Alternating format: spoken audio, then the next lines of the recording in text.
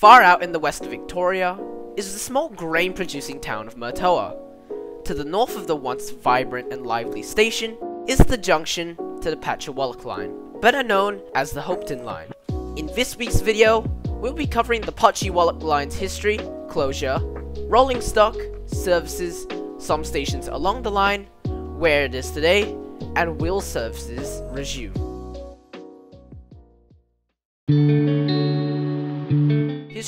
Slash closure. On the 12th of May 1883, the Patchewollock line was opened, but it wasn't known as the Patchewollock line. It wouldn't reach Patchewollock until the 6th of May 1925. It reached its first terminus of Warracknabeal in 1883. It would reach its second terminus of Beulah in 1893. It would reach its third terminus of Hopetoun in 1894. And finally, it would reach Patchewollock in 1925, as mentioned before. It was built after local sheep farmer Edward H. Lascelles campaigned for the line's construction. He wanted it so badly that he began construction himself, as a private line, but the line was eventually finished by Victorian Railways.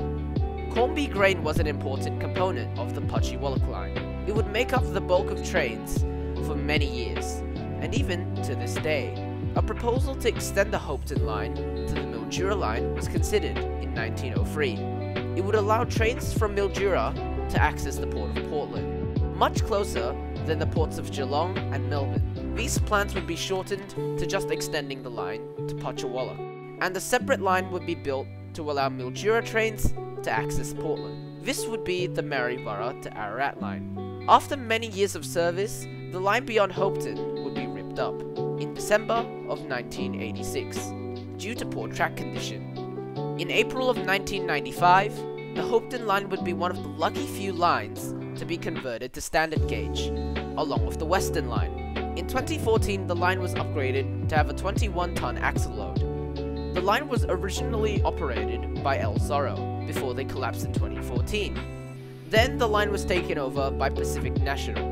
The first train under Pacific National operation was hauled by G536 and G531, and leased CFCLA rolling stock. Rolling stock. In the steam era, J classes and K classes were the main steam engines used on the line, and post modernization, T classes and B classes would be used before Y classes took over. Passenger trains beyond the 30s would have also been run by rail motors, or were mixed in with goods trains. Today, Pacific National runs the line with the rolling stock they have, such as GMs, Gs, BLs, and VLs. Some stations along the line. Minyip. Steam rolled into Minyip for the first time in January of 1886, but the station officially opened in May. Stockyards were erected in 1887, and goods platforms were found to be too short, so they were extended the very next year. A weight bridge and dairy produce shed were added in 1889, and in 1890, a tender was put out for a permanent station building which was completed a couple years later. In 1939, Minyip received some grain silos, which were, at the time, the largest in all of Victoria. In the 50s, a steel annex bin and oak shed were erected. Across the whole line, rail motors were replaced with buses in 1976. Soon, the stockyards were demolished and the station building was boarded up it still remains in relatively good condition. Warracknabeal. In 1886, the line reached Warracknabeal. It has a major grain siding 1 kilometer north of the town, which has been active since the 1920s. The site also includes an old grain distillery storage. Below the station site are some, you guessed it, grain silos. Being the largest town in the area, it should have a few. When the line was extended to Hopetoun, the extension was known as the Warracknabeal to Lake Corrong Railway Line. In 1926, a livestock annex was built. The now disused station building is a very attractive red brick. In 1939, a 70-foot turntable was provided. In 1971, flashing lights were provided on the Henty Highway level crossings. In April of 1995, the station and the line as a whole was closed for gauge conversion and reopened in late May. Beulah opened in January of 1893.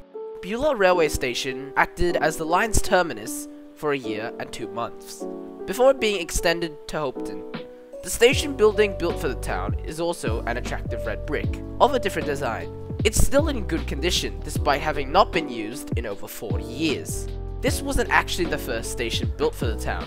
In 1928, the first station burnt down. In 1896, a siding was provided at the station called Jelapais Siding, which would be renamed to Thomas Siding in 1908, and then renamed to Ambiac Siding in 1977. In the same year, the station master would be booted out. In 1994, Road Free was closed. The ticket office today is now a clubhouse meeting room. Hopetoun. Opened in April of 1894, Hopetoun is the terminus of the line today, and only a platform mound and a goods shed survive. Although the goods shed is just a standard goods shed you would find on any station in Victoria. In 1913, a cattle pit was added at the up end of the station. The line was extended past Hopetoun in 1925. In 1970, the aging turntable was removed. In 1977, the station master was fired at this point, the station had no one in charge. In 1987, Hopetoun became the official terminus when the line was closed beyond. Patchewollock. Opened in 1923, just two miles short of the town, it reached Patchewollock in 1925, and would be the furthest the line had gone, and the galvanized iron shed would be erected in 1928.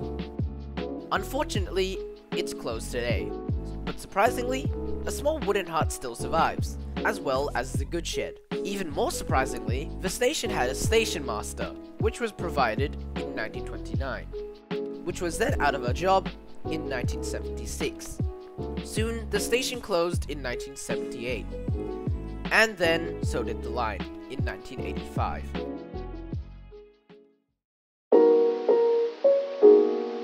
Where is it today? Today, the line carries mineral sands and grain, very standard for the Wimmera. Iluka mineral sand trains run from Hopetoun to Hamilton every week. Iluka mineral sand deliveries from Ouyen would also be unloaded at Hopetoun. From there, they would be transported to Hamilton. BL31 and G540 would be some of the first diesels used on the line. Grain trains run every week as well. They are also operated by Pacific National. The maximum line speed is 50 kilometers an hour for the entire line, with the exception of Warwickside to Hopetoun, as it is in poor condition. So it gets a max of 30 kilometers per hour.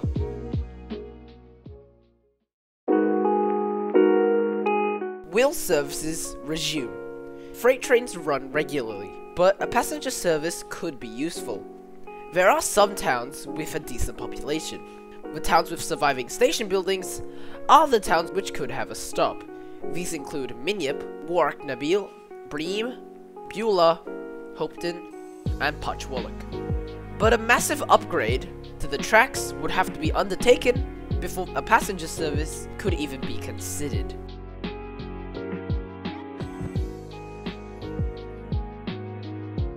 Thanks for watching guys. I hope you liked this video about the Hopetoun line if you have any suggestions on what line I should do next, then leave a comment below. If not, like and subscribe and I'll see you later.